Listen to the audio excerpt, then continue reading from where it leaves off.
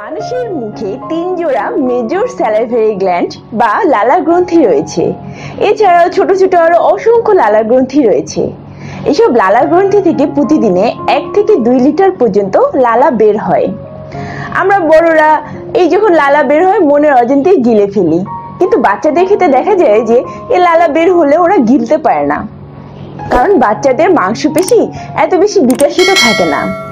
এই জন্য দেখা যায় যে প্রায় সময় বাচ্চারা দুই বছর পর্যন্ত বাচ্চাদের এই লালা ঝরে বাচ্চাদের ওর দেখা যায় যে ছয় থেকে আট মাসের মধ্যে এই লালা ঝরাটা বন্ধ হয়ে যায়। কেননা এই সময় বাচ্চাদের মাংসপেশি ভালোভাবে বিকশিত হয় এবং বাচ্চাদের এই লালার প্রতি একটা নিয়ন্ত্রণ চলে আসে। এই লালা বাচ্চাদের দৈহিক বৃদ্ধিতে এবং বিকাশে একটা গুরুত্বপূর্ণ ভূমিকা পালন করে। বাচ্চারা যখন বাড়তি খাবার শুরু করে, তখন এই লালাতে থাকা এনজাইম বাচ্চার খাবার হজমে সাহায্য করে এবং এই লালা বাচ্চার পাকস্থলের যে এসিড রয়েছে, সেই এসিডকে ঘনীভূত হতে সাহায্য করে এবং যা বাচ্চার ধীরে ধীরে হজম শক্তিকে একটা পরিপক্কতা লাভে সাহায্য করে। এছাড়া বাচ্চা এই লালা দিয়ে দেখা যায় যে অনেক সময় বাবল ফুলায়।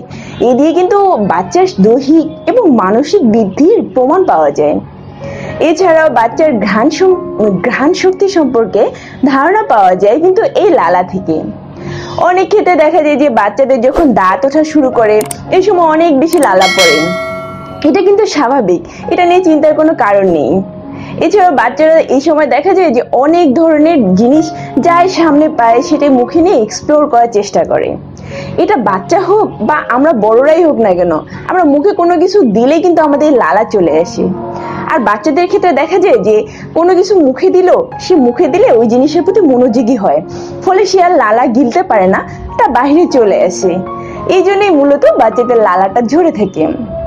এটার একটা কিন্তু ভালো দিকও রয়েছে যে, এই- ছয় মাস, আট মাসের বাচ্চারা দেখা যায় যে সামনে যাই পায়, তাই মুখে দেয়। জিনিসপত্র হোক, এগুলোতে তো নোংরা জীবাণু থাকে। আর তার লালার মাধ্যমে বাইরে চলে আসে। কারণ এটা যদি আমাদের পেটে চলে যায় বাচ্চার, তাহলে কিন্তু নানা ধরনের সমস্যা হতে পারে। এটা কিন্তু লালা পড়ার একটা ভালো দিকও বলা যেতে পারে। তবে বাচ্চার যদি অতিরিক্ত লালা ঝরে তাহলে কিন্তু লালাটা মুছে দিতে হবে। লালা থেকে যাতে বাচ্চার র্যাশ না হয়, সেদিকে খেয়াল রাখতে হবে। আর লালা, অনেক সময় দেখা যায় যে বাচ্চার এত বেশি লালা ঝরে যে গায়ের জামা কাপড় ভিজে যায়। এই থেকে কিন্তু বাচ্চাদের একটা ঠান্ডা লাগার চান্স থাকে। এই জন্য একটা ভালো মানের বিপ ব্যবহার করতে পারেন। আর যদি বাচ্চা কথা বলা শিখে গেছে, তারপরেও যদি অতিরিক্ত লালা পড়ে, তাহলে কিন্তু অবশ্যই আপনাকে এই সময় ডক্টরের পরামর্শ নিতে হবে। সবাই ভালো থাকবেন, সুস্থ থাকবেন এবং পরবর্তী ভিডিও পেতে আমার চ্যানেলটিকে সাবস্ক্রাইব করবেন।